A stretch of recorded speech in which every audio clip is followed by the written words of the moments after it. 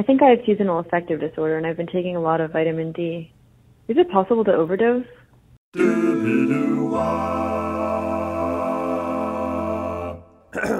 a lot of people are taking vitamin D supplements right now, and a lot of people ask me about this. So you can definitely take too much, and you should not just treat it like vitamin C.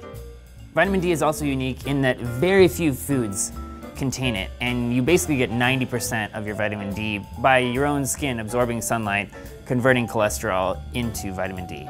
And your body should be able to make plenty. It wasn't until the Industrial Revolution that people started getting rickets. Kids started to be born with bow legs in London, where there were tall buildings and people were primarily living indoors, they didn't know how to prevent it until someone noticed that if you give these kids cod liver oil, they don't get rickets. No one knew why until about 100 years ago when they isolated this compound, vitamin D. There are also receptors for vitamin D in the brain. It works in ways that we don't quite understand, but it does seem to be related to mood and seasonal affective disorder not necessarily the only explanation. People are also less likely to go outside, less likely to exercise, less likely to do all the things that keep you healthy and happy throughout the year because it's dark and freezing and you just want to go home and sleep and watch Netflix and chill, as they say.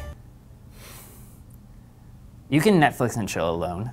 When you take a vitamin D supplement, the level of calcium in your blood increases. If that gets too high or stays high for too long, that can accumulate in your kidneys and form kidney stones. You can't cure everything with vitamin D, you can't cure everything with your diet, you can't cure everything by joining a Zumba class.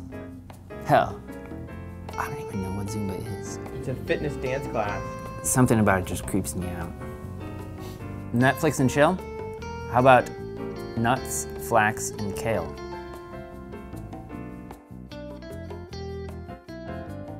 If you have an interesting health question, ideally one where you're not actively bleeding, then write to us and we'll do our best to help you out.